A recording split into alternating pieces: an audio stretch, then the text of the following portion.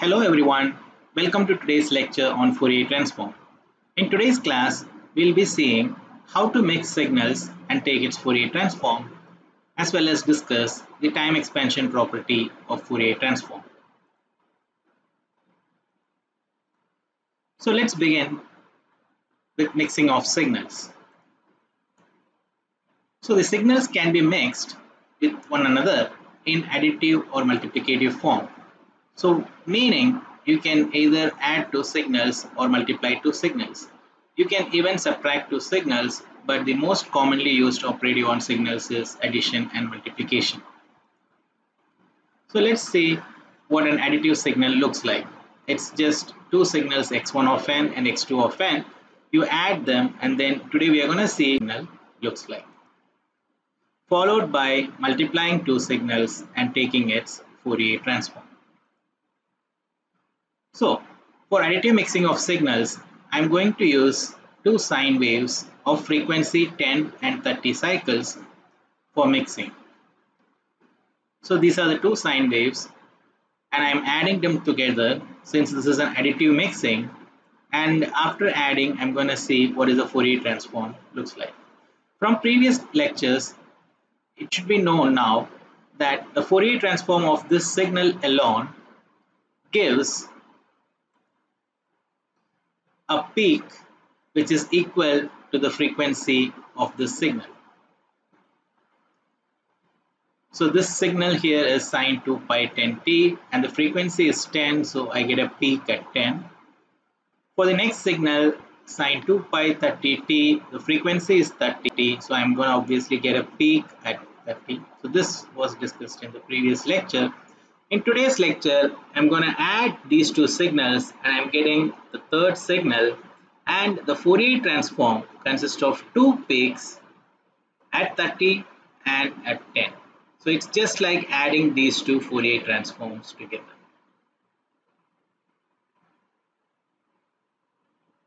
Good. Now let's come to the multiplicative mixing of signals. So for multiplicative mixing, we are going to take the same two example signals and multiply them together. So in order to carry out this multiplication, the trigonometric identity 2 of sine A sine B comes in handy which is cos A minus B minus cos A plus B. So I'm going to apply, so here the A being 2 pi 10 t and b is equal to 2 pi b is equal to 2 pi 30t. I'm going to apply this trigonometric identity to our multiplicative mixing. I end up getting this form the a minus b form and the a plus b form which gives me the frequency of 10 plus 30 an additive frequency of 40 and a subtractive frequency of 20 without considering the sign. Now let's see how the Fourier transform is going to look like. So by the by definition we can tell that the Fourier transform of 2 pi 10t is going to have a peak at 10 and the Fourier transform of 2 pi 30t is going to have a peak at 30. So we have seen this for additive mixing also. Here for the cosine, the sine and cos have the same properties for the Fourier transform so here we are going to see what ideally we are going to see is and we are going to see a peak at 40 for multiplicative mixing. So this is from just from the equations we are able to predict what the graph is going to look like. Let us go to the actual graph and see how it plots out. So I'm using the same sine 2 pi 10t. I get a peak at 10. The frequency of the signal is 10. Then uh, second signal which is having a frequency of 30 I'm gonna get a peak at 30 interesting we will see what the product of these two signals multiplicative mixing is gonna give us. Just as we predicted we are having a peak at 20 and then we are having another peak at 40 so this is 10 plus 30 and 10 minus 30 so sum of the frequency and the difference of the frequency.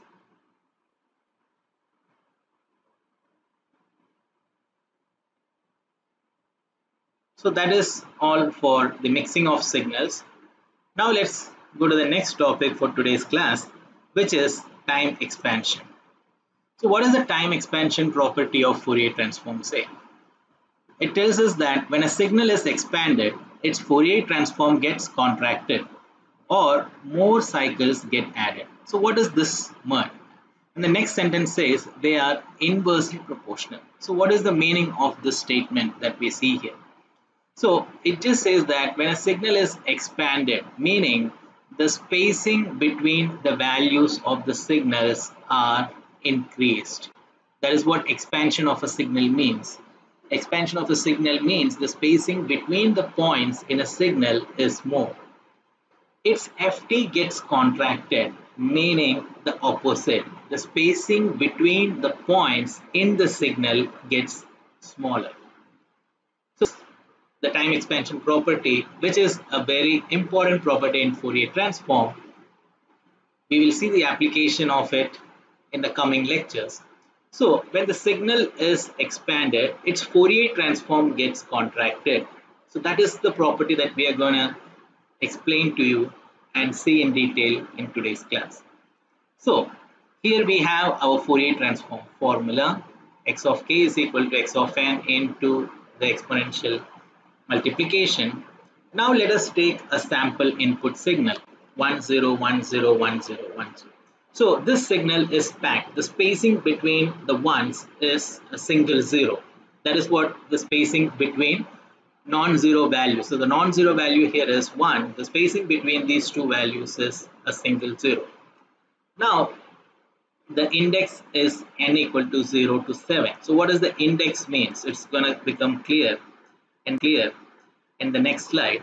So now what I'm going to do is I'm going to make just for the sake of explanation I'm going to do something here. I'm going to substitute W is equal to exp minus j2 pi k by n. So I'm going to take away all these terms over here because I don't need any of that to explain the time expansion property to you. So I'm going to take that away and then what I'm left with is sigma n equal to 0 to n minus 1 x of n multiplied w to the power of n. So I'm going to use only what you see on this RHS or the right hand side for further explanation of the time expansion property. So I have my signal here and the modified Fourier transform representation here. And now the index of x of n becomes clear here is n equal to 0 to 7 which means the of my ones in the signal. So if I look at this signal, the position of the first one is at 0, the second one is at 2, and, the, uh, and 4, and so on.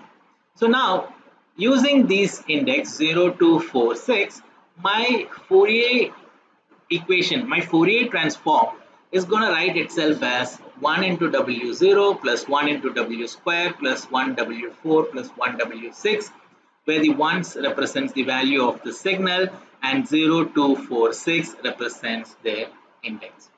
This is the Fourier transform for my signal in the new substitution form. Now what I'm going to do is I'm going to expand. Since we are talking about time expansion, I'm going to expand this signal. So when I expand the signal, what I'm going to see, how do I expand the signal? I'm going to add more zeros. So I'm going to add one more zero between 1. So here there was the spacing was just a two zeros so the spacing increases so when the spacing increase you are expanding the signal so this signal is expanded compared to its previous signal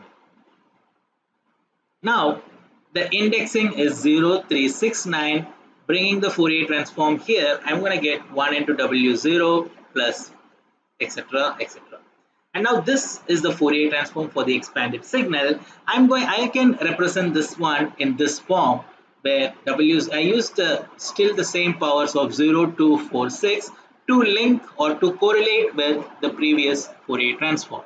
So the previous previous Fourier transform says this and the new Fourier transform says this.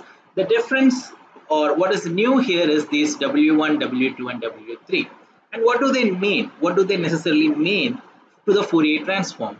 These multiplicative factors W1, W2, W3 contribute to the contraction of ft or contraction of ft or your spacing between the ft is going to get smaller or it's going to have more cycles contraction more cycles the spacing between the points smaller all implicate the reverse of expansion so that is why they are inversely proportional Good. So now let's quickly go through another example where I'm going to further expand the signal with three zeros.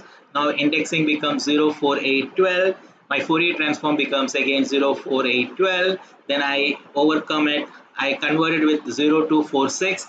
Then I get these new factors which contribute here to the contraction or more cycles in FT. Now I'm going to write this W246, W4, W6 as two W1s, two W2s and two W3s. So why do I do this becomes more clearer in the next slide. So now let us go through let us go through all the three signals and what are the Fourier transform. The first signal was a single spacing signal and this was the Fourier transform 0246 and that is not the Fourier transform. I'm just saying it for the sake of explanation so that it's easier to understand and grasp the concept. So that is the idea of using it as that way. So now I pad one zero. So which means the spacing between these ones have increased or I'm expanding the signal. So I got this Fourier transform. W1 W2 W3 are the extra things. And I this is going to add one cycle to my FT so when I add one cycle to my FT, that is equaling saying that my FT is going to look contracted. When I do one more zero, I'm going to write it as W1, W1, W2, W2, W2. This is the last line in the previous slide. And this is going to add two cycles to FT. So you are seeing the pattern first. So I'm going to, this is keep going to expand and whenever I see this multiplicative factors in the Fourier transform that directly implicates that there are going to be more cycles in my FT which means my FT is going to get more and more contracted. So that is why we say that time expansion in time domain leads to more cycles in FT or contraction in FT. They are inversely proportional. So this is a property of time expansion. Now I'm going to finish this lecture with a video that will show the clear picture of what we have seen so far as equations. So here for this signal there is only one zero the spacing is a single spacing signal that I have shown you and the Fourier transform is looking in this form.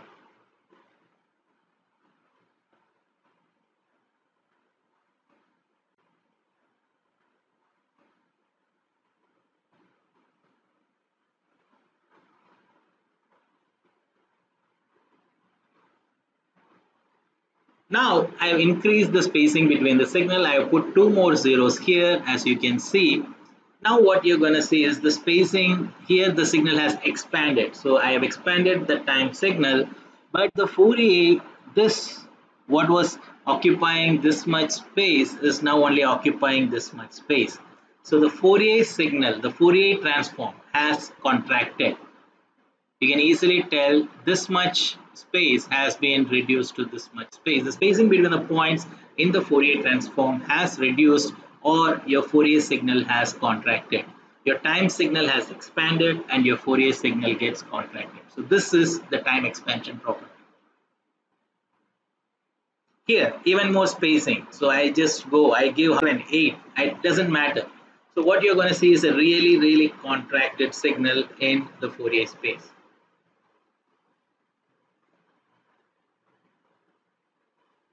Hope this clears you what time expansion is. So we have seen today mixing of signals, which is a very important property and also time expansion.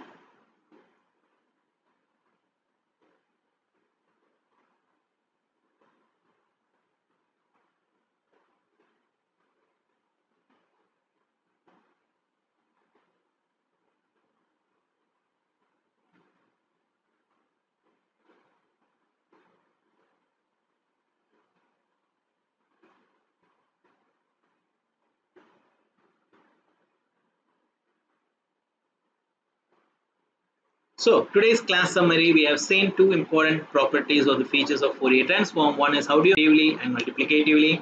Then what is time expansion and what is the significance of time expansion in Fourier space. Thank you for listening.